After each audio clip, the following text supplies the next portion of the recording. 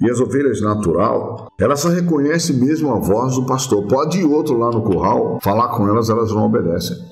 Elas não obedecem. Ela conhece a voz do pastor que ouviu desde a sua pequenez.